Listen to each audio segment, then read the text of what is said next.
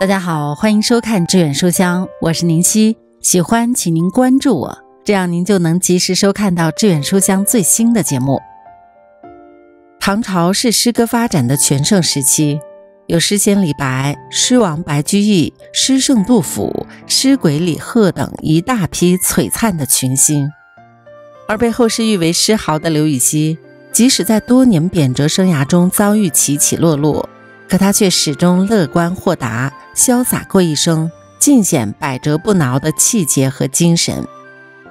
公元八百零五年，顺宗即位，他任用王叔文改革朝政，刘禹锡也参加了这场革新运动。但是革新遭到了宦官、藩镇、官僚势力的强烈反对，以失败而告终。顺宗被迫退位，王叔文被赐死，刘禹锡被贬为郎州司马。开启了他长达二十三年的贬谪生涯。难能可贵的是，刘禹锡在遭受严重打击后，并没有消沉下去。刘禹锡的诗风格俊美豪爽，格调激昂，有大气磅礴的雄壮气势。今天我们聊的《秋词二首》，就是被贬郎州的时候写下的。自古逢秋悲寂寥，我言秋日胜春朝。是何等的豪情壮志、振奋精神，鼓舞了多少失落和绝望的人们。读他的诗，仿佛能感受到那种激情澎湃、催人向上的力量，也带给人们无限的希望和信心。《秋词二首》，唐·刘禹锡。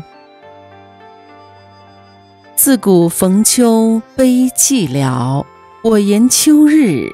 胜春朝，晴空一鹤排云上，便引诗情到碧霄。山明水净夜来霜，树树深红出浅黄。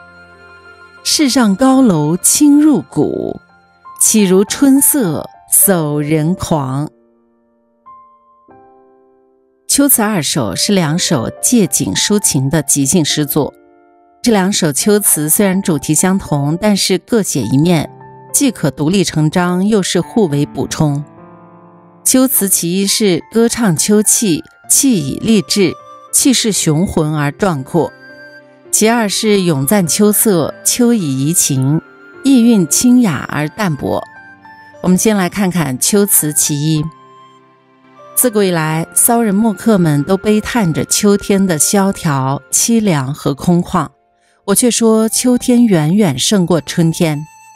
秋日天高气爽，晴空万里，一只仙鹤直冲云霄，推开云层，也激发了我的诗情，飞向万里晴空。自古逢秋悲寂寥，秋天百草枯黄，树叶飘零，人的心情难免受到影响。因此，关于秋天的诗句很多都是带着一份悲秋的色彩。然而，刘禹锡却断然否定了前人悲秋的观念。我言秋日胜春朝，悲秋是你们的事，我不觉得秋天萧瑟肃杀，反而认为有它自己独特的美，甚至比那花红柳绿的春天更胜一筹，表现出了他多面思考、积极向上的思想。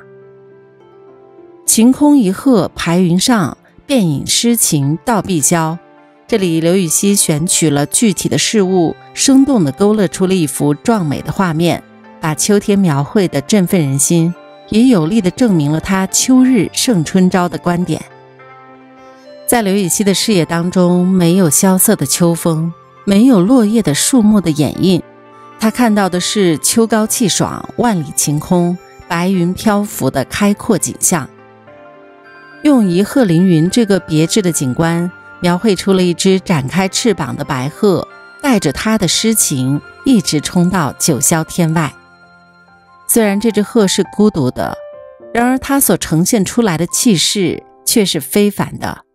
一个“排”字有一种排山倒海的气势，其中所蕴含的深意也都尽在不言中了。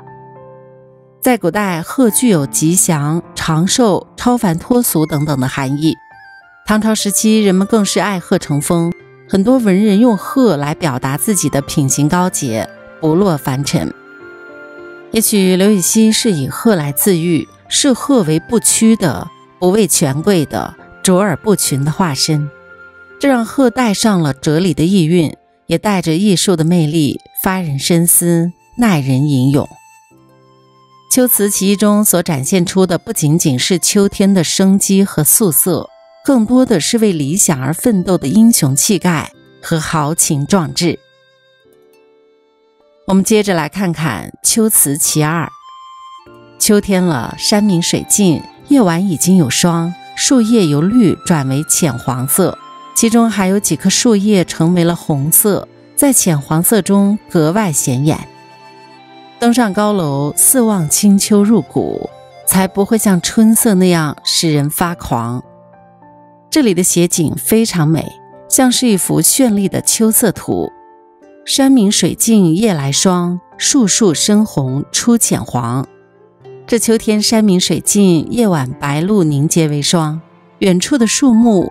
有的是深红色的，有的是浅黄色的，它们看起来是那么耀眼夺目、绚烂缤纷。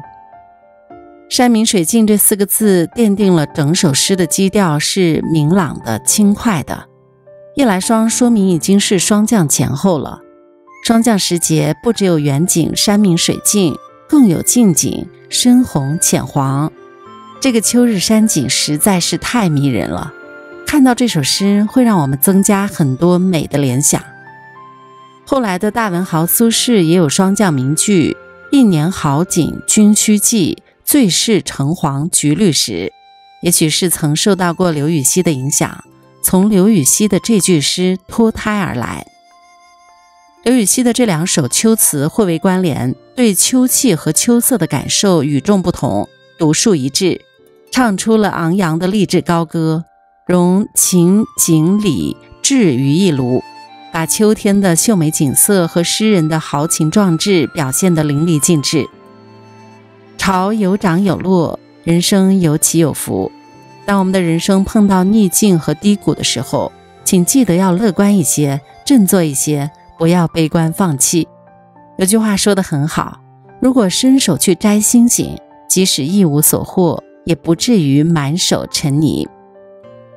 好的，朋友们，今天关于刘禹锡的《秋词二首》就和您聊到这里了。这里是致远书香，我是宁熙。喜欢节目，欢迎您关注我，还有您的点赞、评论和转发，也是对节目最大的支持。感谢收看，我们下期再会。